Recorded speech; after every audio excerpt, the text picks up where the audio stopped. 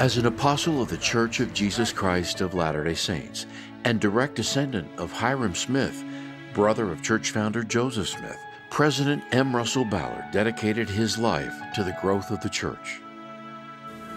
We had the privilege of sitting beside a man who is the great great grandson of Hyrum Smith. And Joseph Smith was his great great uncle. Both of his grandfathers were apostles of the Lord. His commitment and his consecration were in his blood. President Ballard was sustained as an apostle of the Church of Jesus Christ of Latter day Saints on October 6, 1985. Jesus is the Christ, that he lives. He is very close to this work and very close to all of us that are asked to perform the work throughout the earth in his name. As with the apostles in New Testament times, Latter day Saint apostles are called to be special witnesses of Jesus Christ. President Ballard was one of 15 men who helped oversee the growth and development of the global church. Melvin Russell Ballard was born in Salt Lake City, Utah on October 8, 1928, to Melvin R. and Geraldine Smith Ballard. As a teenage boy, President Ballard learned how to drive, shuttling cars around his father's dealership. Under his dad's direction, he learned the value of hard work and how to inspire others. Those characteristics provided marvelous preparation for the future church leader. Prior to his call as a general authority, President Ballard worked in the automotive, real estate, and investment business. When he was a young businessman, um, if things didn't go right, you know, many business people would just say, well, sorry. Um, but my dad would always figure out a way to make it right. In the Quorum of the Twelve, there are people with many different professional backgrounds. Elder Ballard and a few other members of the Twelve brought business experience. I will miss his extraordinary judgment and wisdom.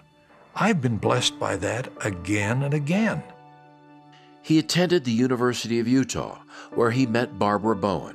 They were married in the Salt Lake Temple in 1951 and are the parents of seven children with many grandchildren and great grandchildren.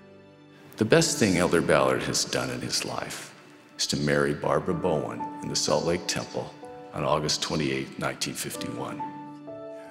Sister Ballard was a great compliment to him, spelled both ways. She complimented him when he did something nice, but she also made him more complete. Sister Ballard passed away on October 1st, 2018. I just think they were so in love with each other to begin with. Dad would often say, I would never do anything that would hurt your mother. I would just think about her looking at me with those big blue eyes, and I just, I had to just always behave. President Ballard served as a full time missionary to England, serving as a counselor to mission presidents Selvoy J. Boyer and Stayner Richards. He served as president of the Canada Toronto Mission. He was called as a general authority in 1976, and in 1997, President Ballard served as the chair of the Sesquicentennial Committee, marking the 150th anniversary of the arrival of the pioneers in the Salt Lake Valley. He became the acting president of the Quorum of the Twelve Apostles on January 14, 2018. President Ballard cultivated relationships with leaders of the community and other faiths. He visited the Vatican to meet with senior Catholic leaders. He joined President Russell M. Nelson and all members of the First Presidency and Quorum of the Twelve in an historic visit to Rome, Italy in 2019 to dedicate the temple. President Ballard and President Nelson visited Pope Francis in the Vatican in the first meeting ever between a Latter day Saint president and a pope.